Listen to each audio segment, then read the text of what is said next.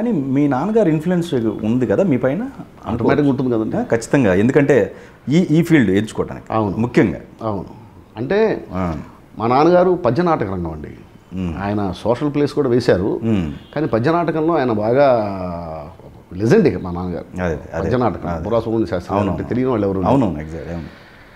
So ఆటోమేటిక్గా ఆయన ఉంటుందిగా. అదే అదే అయితే నేను పద్య నాటకం వైపు వెళ్ళాల? ఓకే. మా అమ్మ కూడా ప- పద్య నాటకమే మా అమ్మ ఆర్టిస్టే మా నాన్న ఆర్టిస్టే. అయితే నాకు చిన్నప్పటి నుంచి ఏంటంటే ఇంట్లో ఆ పద్యాలు ఆ వింటూ వింటూ వింటూ కడల కళల మీద విపరీతంగా ఇంట్రెస్ట్ పెరిగిపోయింది అయితే ఏంటంటే నాకు అప్పుడున్న అజ్ఞానం. ఆ టైంలో ఉన్న అజ్ఞానం పద్యనాటకం అనగానే మైకి దగ్గర నిలబడి ఓ పద్యం ఆడుతూ ఉంటారు. పర్ఫార్మెన్స్ ఉండదు. యాక్ట్ చేయరు. ఊరికి మైకి దగ్గర నిలబడి మైక్కి నోరు అంటికి చేసి పద్యాలు అని పాడుతూ ఉంటారు. అనుకుంటునేవాడిని అనుకొని ఇట్లా కాదు సోషల్ ప్లే అయితే సమకాలీన సమస్య చెప్పొచ్చు. ఓకే. మనం ఎలా ఉంటామో అలా మనం స్టేజ్ మీద కనిపించవచ్చు మన చుట్టూ ఉండే మనుషుల్ని స్టేజ్ మీద మనం ఎగ్జిబిట్ చేయొచ్చు.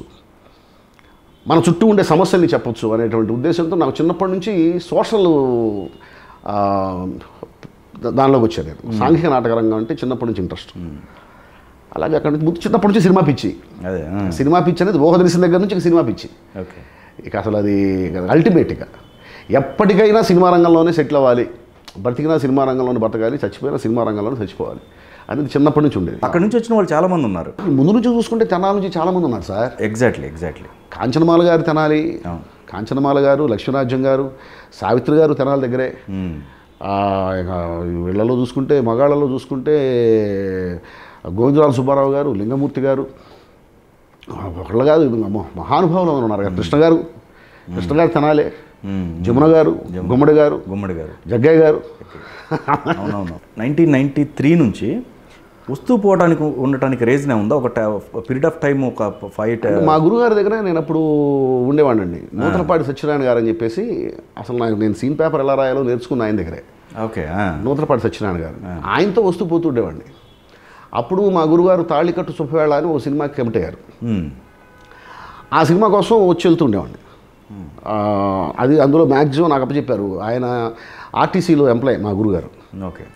సో లొకేషన్కి రావడానికి ఆయన కుదరదు. ఆయన ఓన్లీ సండే సండే వచ్చి వెళ్తూ ఉండేవాళ్ళు సో ఆయనకి రిప్రజెంటేటివ్గా నన్ను ఇక్కడ పెట్టారు నేను ఆ సినిమాకి పనిచేస్తూ మధ్య మధ్యలో గురుగారికి ఫోన్ చేసి ఆయన సలహాలు తీసుకుంటూ ఆయన సూచనలు తీసుకుంటూ రాస్తుండేవాడిని ఓకే ఓకే. యాక్చువల్గా మా గురుగారు ఫస్ట్ ఏ కండిషన్ మీద ఒప్పుకున్నారంటే నేను తెనాలిలోనే ఉంటా నేను ఎంప్లాయీని నాతో రాయించుకోవాలంటే బౌండ్ స్క్రిప్ట్ తీసుకున్న తర్వాత మాత్రం మీరు షూటింగ్ స్టార్ట్ చేసుకోండి.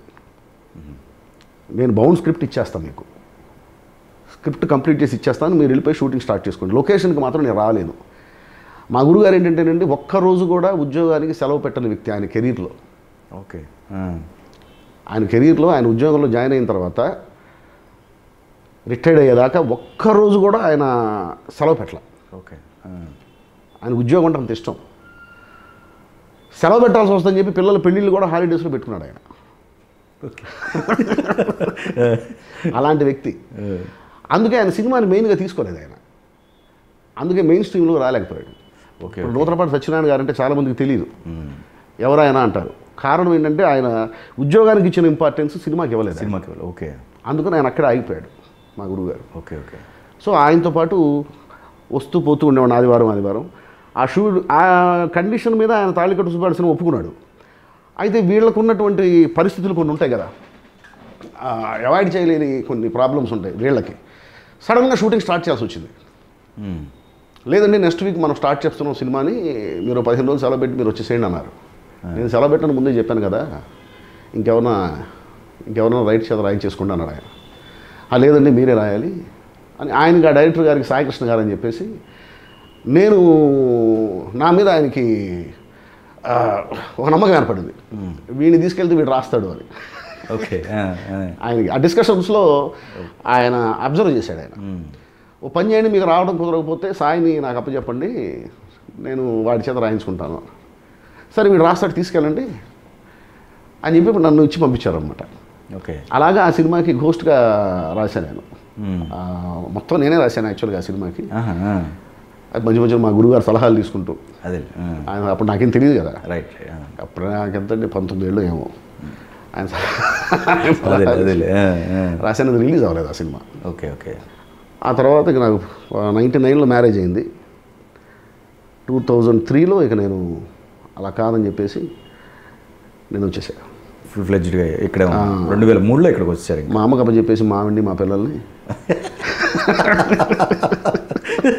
రెస్పాన్సిబిలిటీలు అక్కడ. ఓకే. చెప్పేసి నేను వచ్చేసి. అదేలేండి. ప్రశాంతంగా కళ కళానికి ప్రశాంతత. అంతే. ఓంకార్ గారు మీకు ముందు నుంచే పరిచయం అండి?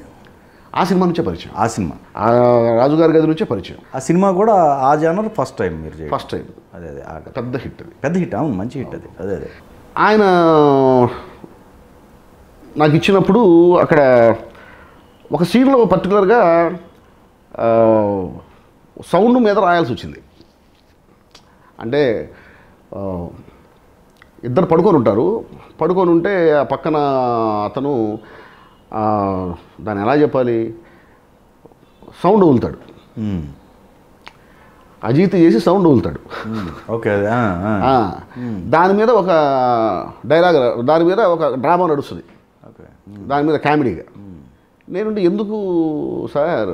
దాని మీద ఇప్పుడు అది ఇప్పుడు థియేటర్ మొత్తం దుర్వాసన వచ్చేస్తుంది. ఫీల్ అవుతారు జనం. థియేటర్ మొత్తం దుర్వాసన రాకపోయినా కూడా అది ఫీల్ అవుతారు. ఓకే. ఆ సెన్స్ వస్తుంది జనానికి. అది అవసరమా మనకి? అది వద్దులేండి అని చెప్పాను నేను. లేదంటే నేను అందుకే కదండి మీ దగ్గరికి వచ్చింది. ఆ సీన్ నాకు కావాలి.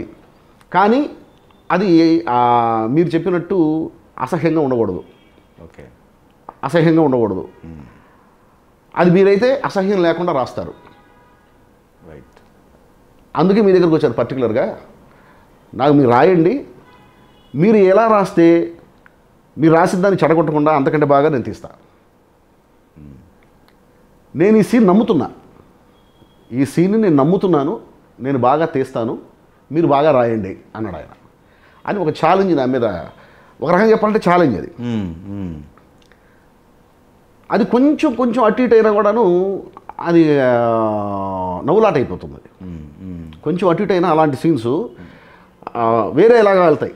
రైట్ రైట్ నేను ఒకే ఒక డైలాగ్ రాశానండి.